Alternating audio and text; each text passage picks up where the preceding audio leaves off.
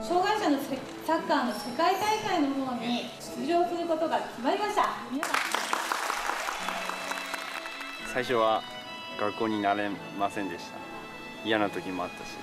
高尾君サッカーやってかっこいいとかって言われてた、うん、娘さんがやっぱりこう養護学校に入ったとか特殊学級に入ったって言うとやっぱり離れていく人もいたし。その子のキラッと光ったものを最大限に伸ばしてあげたい。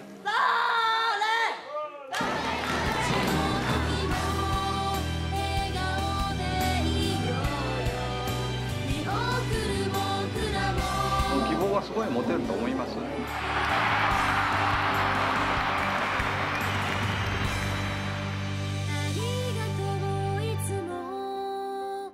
あ、